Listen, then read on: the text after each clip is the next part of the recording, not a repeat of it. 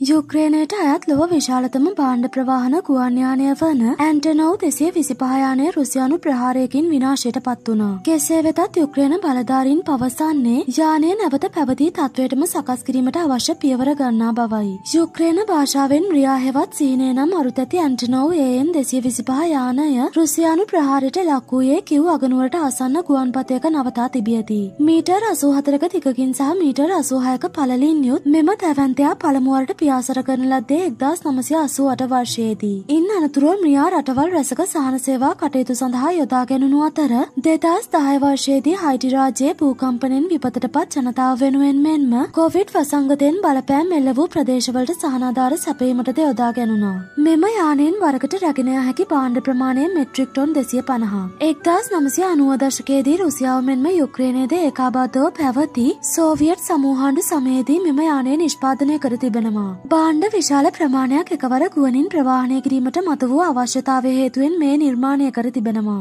ඇන්ටනෝව් දෙසේ විසිපහ ගුවන්යානයේ ඉන්දන kilogram ලක්ෂ තුනක් කබටා කිරීමට ඇති පහසුව හේතුවෙන් ඊට එක්වරක් ඉන්දන පිරවීමෙන් අනතුරුව කිලෝමීටර් පහළොස්දා සාරසයක දුරක් ප්‍යාසර කිරීමට හැකිවීමද විශේෂත්වයක්. ශ්‍රී ලංකාවටද ම්‍රියානම් මෙම යානය සමඟ අතීතයක් පවතින අතර එම යානය දෙදස් දහට වසරේ අප්‍රේල් මස දහට වැනිදා මත්තල ජාත්‍යන්තර ගුවන්තොටුපොලට පැමිණියේ දින හතරක් වෙනුවෙන්. ඒ යානයේ කාර්යමණ්ඩල සමාජිකයන්ට විවේක ගැනීම සහ යානයට ඉන්ධන ලබා ගැනීම සඳහායි. ප්‍රහාරයට ලක්වීමෙන් අනතුරුව යානයේ තාක්ෂණික තත්ත්වයන් සම්බන්ධයෙන් මෙතෙක් තහවුරු කිරීමට නොහැකි බවත් ඒ සඳහා ගුවන් යානා විශේෂඥයින් පරීක්ෂණ පවත්වමින් සිටින බවත් ඇන්ටනෝ සමාගම පවසනවා. විනාශ වූ යානය ප්‍රතිසංස්කරණය කිරීම සඳහා ඩොලර් බිලියන පහක පමණ මුදලකුත් වසර පහකට අධික කාලයකුත් ගතවනු ඇති බවයි ගුවන් යානා නිෂ්පාදන සමාගම් පෙන්වා දෙන්නේ. කෙසේ වෙතත් යානය ප්‍රතිසංස්කරණය කිරීමට පියවර ගන්නා බව යුක්්‍රේන විදේශ කටයුතු අමාත්‍ය තිමිත්‍රෝ කුලේබා ට්විට පණිවිඩයක් නිකුත් කරමින් අවධාරණය කර තිබෙනවා.